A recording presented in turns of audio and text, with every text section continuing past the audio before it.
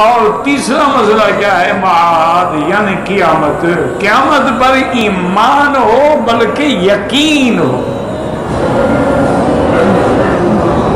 जैसे मौत यकीनी है ना, मौत का नाम यकीन भी है।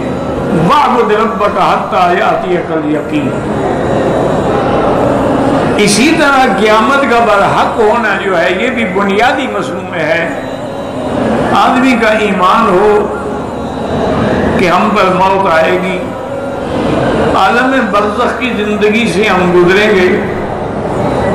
और जब अल्लाह के यहाँ वक्त मुकर्र है, क़ियामत का जो उसके इल्म में है, जब क़ियामत की घड़ी आएगी तो फिर सूर फूका जाएगा और सब मखलूक अपनी कब्रों से खड़ी हो जाएगी। ईमान हो के मरना है, मरने के बाद उठना है।